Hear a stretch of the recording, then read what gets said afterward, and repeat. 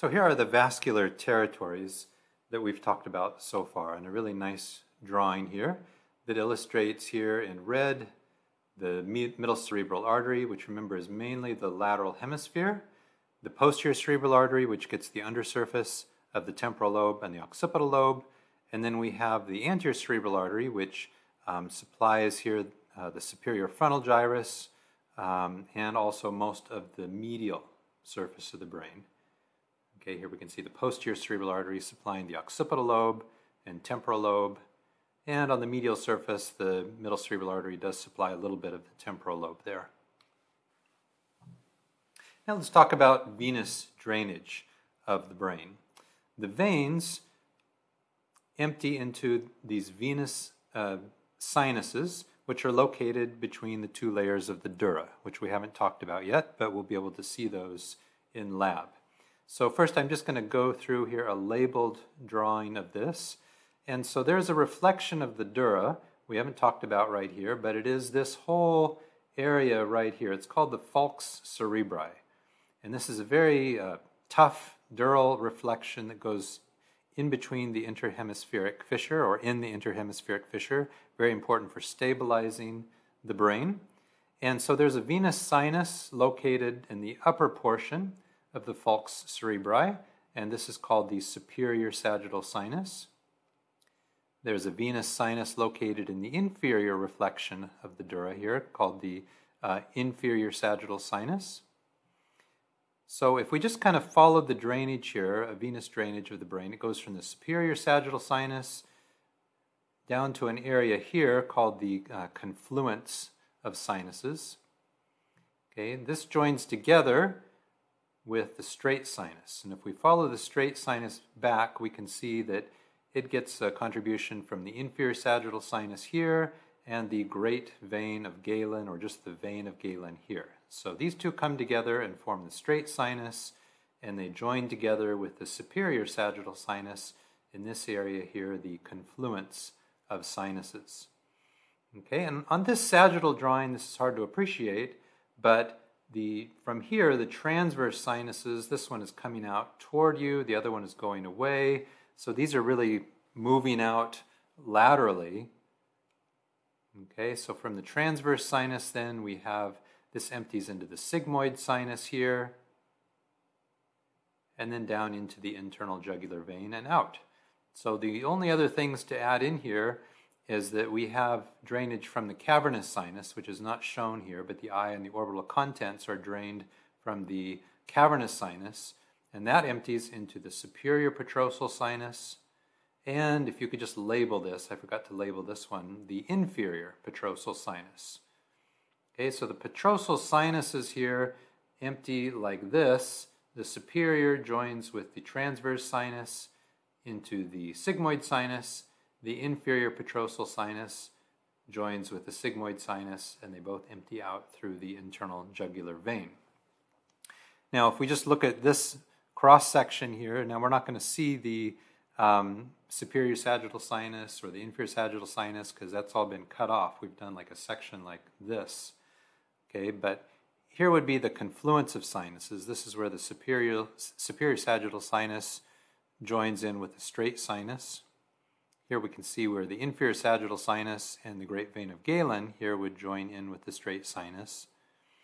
Here we can appreciate how the transverse sinuses wrap out like this. Okay, so the transverse sinus here joins with the superior petrosal sinus, and here we can see now the cavernous sinus. And you can kind of appreciate the cavernous sinus lies right behind the eye.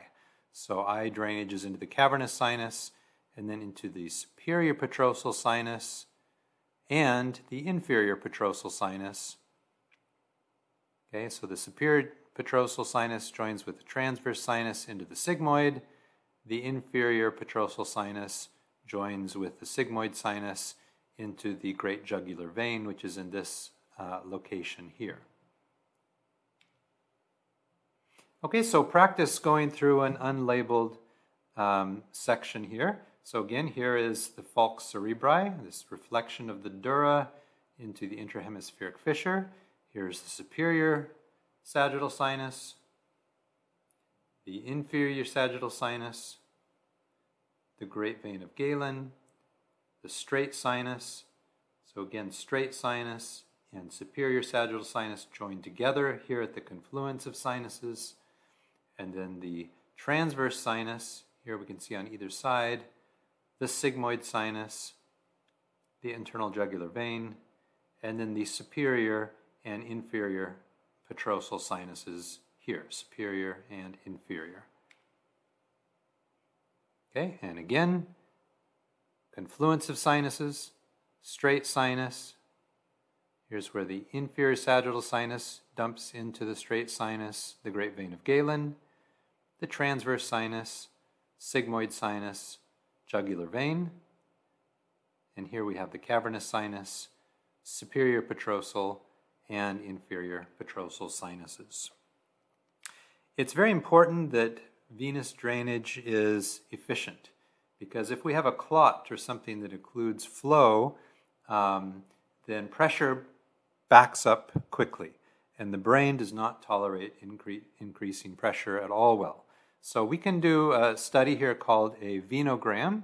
There are different ways of doing this, and so this nicely outlines the superior sagittal sinus. Here we can see the straight sinus, confluence of sinuses, and here we can see there is a problem. The transverse sinus over here is draining nicely into the sigmoid sinus, and so here we have a problem with lack of flow here in this transverse sinus. Um, and so if we have a venous occlusion like that, we get increased intracranial pressure. And we'll make a big deal later on in the course. What are the symptoms of increased intracranial pressure? That will occur later. But what can happen is if the arterial flow, if that can't efficiently drain into the venous system, pressure backs up and we get a combination of ischemic infarcts. So that means there isn't enough arterial pressure to oxygenate certain areas of the brain. So we get an ischemic infarct. And because of the high pressure, we can get bleeding uh, infarctions as well. That's called a hemorrhagic infarct. And the one that is most common is the superior sagittal sinus. Um, so we'll talk about that. The other one that is relatively common is occlusion of the cavernous sinus. So remember, the cavernous sinus drains the eye and the orbital contents. And if, so, if the, we can't drain that adequately, we develop the patient develops what's known as a painful ophthalmoplegia. Ophthalmoplegia is just a big word that means the eye doesn't move well. And because of all the pressure around the eye, it's painful. So we see a lot of swelling or orbital congestion. And proptosis, that means that the eye is literally getting pushed forward out of the eye socket. So here's a patient, and I don't appreciate, I don't expect you to understand what's going on here, but we have a problem in the cavernous sinus. All right, and so pressure is backing up, so we get this uh, orbital congestion, redness, proptosis. If we were to have this patient turn to the side, you would see that this eye is pushing out further compared to the normal eye. And so our neuroimaging is very good at picking up, and the radiologist can tell us exactly what's going on in the cavernous sinus. I mentioned that a superior sagittal sinus thrombosis is more common. And so back here, this is the front of the brain, the back of the brain. Here's the superior sagittal sinus, and it should look like this all the way across. So you can see here we have a thrombosis, and so we don't have adequate flow drainage here in the superior sagittal sinus.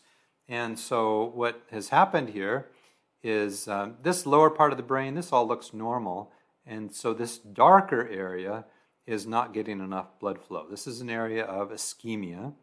Okay, and since the superior sagittal sinus is midline, uh, the ischemia tends to be kind of in this midline location. What's in a midline location that we've talked about? Well, the paracentral lobule. Remember, motor cortex for the leg, sensory cortex for the leg, the bladder. So we'd expect to have some dysfunction uh, in those areas. And here we can see some complex findings, uh, which I don't expect you to understand, but just notice they're midline. So we see areas of ischemia and hemorrhage along the midline when we have a superior sagittal sinus thrombosis. Um, when does that occur? We'll talk more about this later in our stroke lecture, but we see this a lot more often in younger women. One of the more common scenarios is immediately after delivery when there is a hypercoagulable state, um, and also there may be some dehydration, and that's a time uh, when, uh, unfortunately, women are prone to uh, develop this. And um, I've seen a number of cases of this. It is treatable, but uh, again, we'll get to that later. Now, just a little bit on vasculature of the spinal cord. Along the course of the spinal cord, we have a single anterior spinal artery and two posterior spinal arteries. Okay, at the upper portion, upper cervical, this is supplied by the vertebral arteries, but that's not enough to provide adequate oxygenation for the entire uh, spinal cord. So uh, the spinal cord vasculature is boosted all the way along by these radicular arteries. And I don't really care that you know um, where these radicular arteries come from. Some come from the vertebral, thyrocervical trunk, um, from the aorta. Um, now, remember, I used the term radiculopathy last time to say a lesion of the nerve roots. And so these radicular arteries, there's a radicular artery with each nerve root. So that means there are 31 radicular arteries, and these do supply the nerve roots uh, with uh, oxygenation. But in terms of the spinal cord, it turns out that there are only about seven or eight radicular arteries that contribute meaningfully to uh, spinal cord vasculature. And so here we can see uh, the anterior spinal artery. Okay, and notice up here it gets supplied by the vertebral artery, and then there are a variety of branches here off the aorta we can see. Um, so this just kind of highlights there are only like about seven or eight of these radicular arteries that are really important in terms of contributing here to the anterior spinal artery. Okay, here are the posterior spinal arteries, which um, in the upper portion, actually these can be supplied by the um, pica.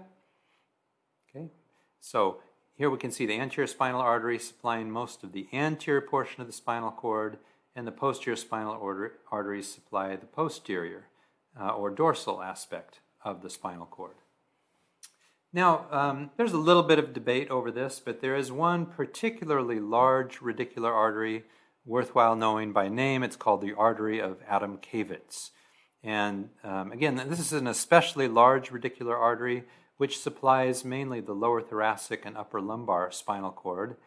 And again, this is a large radicular artery, and the result is there's a little bit of a watershed area or an area above the artery of Adamkiewicz where there's relatively less vascular supply. Okay, so that's the upper thoracic area, T1 to T4. And so um, here we can see, um, again, these are nerve roots, and so these are radicular arteries, and so this is showing you the artery of Adamkiewicz, which contributes to the anterior spinal artery here. All right, so let's say that this is mid-lower thoracic cord. So right above this, uh, and this is especially relevant like if someone is having surgery on their aorta. Maybe the blood pressure goes low during surgery, and the area then above the artery of Adamkiewicz um, is at relative danger of not getting enough oxygenation. And we'll talk about later what um, ischemia of the upper thoracic cord can look like clinically. All right, and just one more picture here showing you the spinal cord, the anterior spinal artery, the nerve roots with radicular arteries, okay? And again, you can see some of these, most of these are small, but then we have, you know, a really large one here, the artery of Adamkiewicz, a major boost here to the spinal cord vasculature.